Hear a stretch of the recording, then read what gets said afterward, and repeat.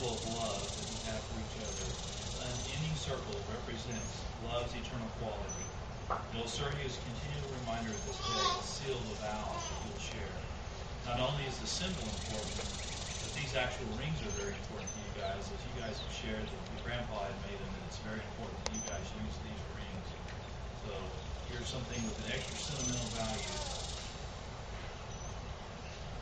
James, I'd like for you to take this ring and place it on Charlene's finger.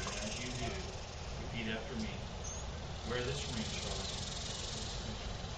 as a pledge of my love to you. For with this ring, I do wed. In the name of the Father, the Son, and the Holy Spirit.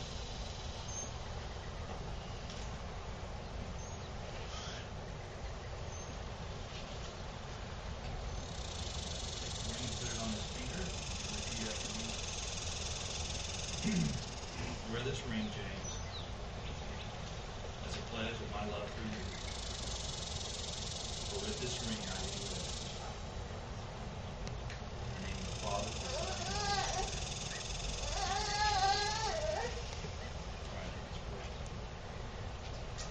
Father, we just ask your blessing upon this wedding. We ask your blessing upon this marriage, upon this